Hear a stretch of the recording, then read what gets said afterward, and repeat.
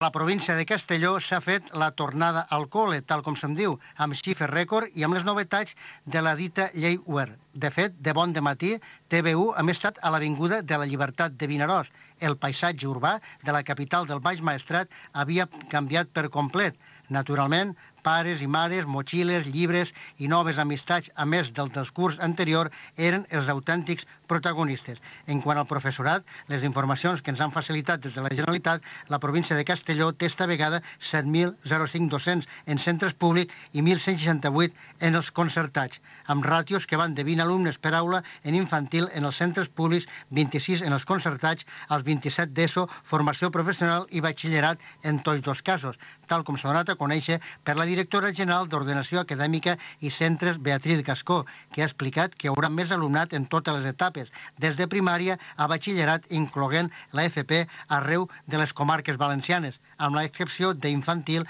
ja que les xifres han baixat per la caiguda de la natalitat a tots els municipis d'arreu de les comarques tant de Castelló, València com Alacant. Que aquest equip de govern ha estat treballant i ha fet lo impossible